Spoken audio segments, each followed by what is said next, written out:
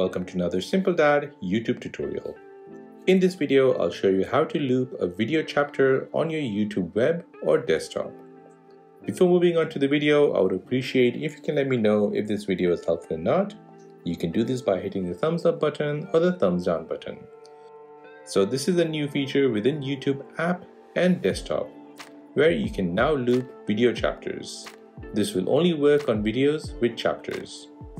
So let me show you how to do this. First, open up a web browser on your PC or Mac. Next, navigate to your YouTube video where you know there are chapters in it.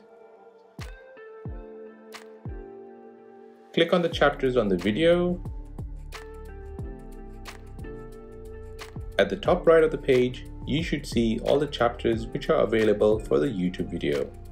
Hover your mouse over the chapter which you would like to repeat and click on it. Next, click on the loop icon which looks like two arrows in the opposite direction. Your loop icon should turn bold and your YouTube video chapter will be set to repeat.